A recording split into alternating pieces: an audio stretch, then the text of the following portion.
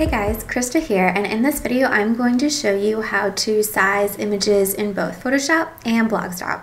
So we're going to start with Photoshop. In Photoshop you're going to want to open up your image, and then we're going to just going to go to File and Export, and I'm going to use File Save for Web. So in Save for Web, I'm going to make this a little bigger. It gives you the option to change the image size for the purposes of this example, I'm going to make it a thousand pixels wide, but depending on how big your image is displayed on your site, you might need to size it differently.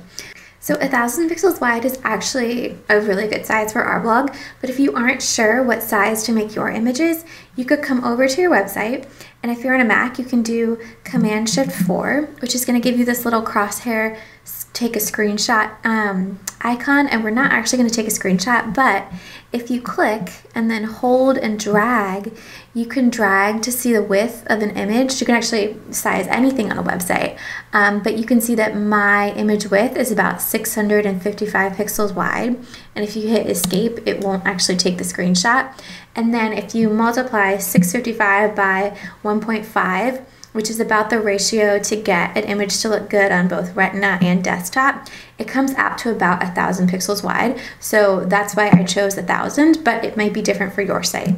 So after we've sized the image, we're gonna play with the quality a little bit and see if we can get the, the size of the image down because right now this is a really big file and it would it would slow our site down pretty significantly.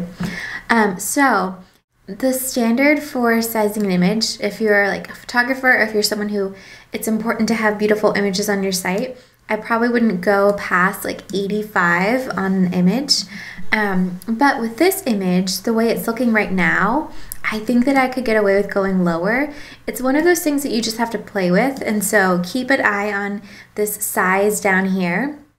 So like right now, it's showing you how fast it's gonna load, which is 35 seconds, which that might be different depending on your internet speed or where it's going.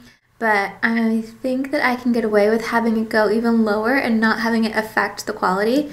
Um, so it's just kind of a trade-off, like how low of a resolution can you go while still keeping it fast. Right now, I think this image looks okay. So I would just save it and we'll save it right to my desktop. Um, and then it would be good to go. I'm also going to show you how to use Blogstomp. Blogstomp is a great piece of software if you don't have Photoshop or if you really only need to size your images for blog posts. So what you do is you select a few images, and so I'm going to grab those and I'm going to pull them in, and you can pull in as many photos as you want. And you would select one photo or you could select two photos at once, um, like if we wanted to select these two together. And then you can come in and there's a few different built-in styles or you can create your own styles. If you're going to create your own, you want to set the image width. So this one I have it set to be 1100 pixels wide. I didn't want a border, I didn't want any backgrounds. I do want a 5 pixel margin in between the two images. And then I'm going to come over to output so I would I recommend putting your output quality at about 85, like Blogstomp recommends. I think anything lower than that, and if, if photos and the quality of a photo is important to you, you start to notice the effect of that lower output. Um, I also sharpen the images for the um, web. Those are pretty good settings to use throughout if you're going to use Blogstomp. And so then I'm going to hit OK. And then from here, I have my two images together, and then I can hit just stomp it, and it goes into a folder.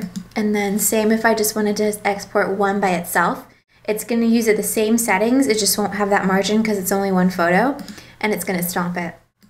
And then if I come in here, I can look at these images, and they are sized to be 1129 pixels wide, and they're not as big as they were before. So Two ways to size your images for the web.